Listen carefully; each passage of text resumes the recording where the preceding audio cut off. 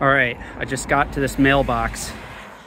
Dan is loading my daughter in the car and I went along the side of the road and threw the any trash I found probably within five feet of this barrier just onto this side of the uh, wall here.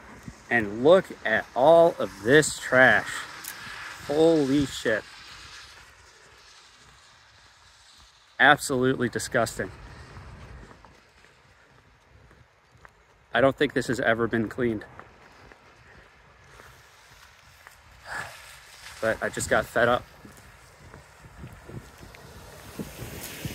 Got fed up with seeing all the trash.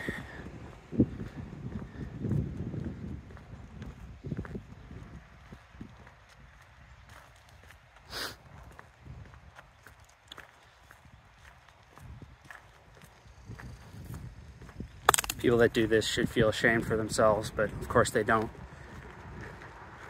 Speaks volumes about a person's character that litters, or lack thereof of character.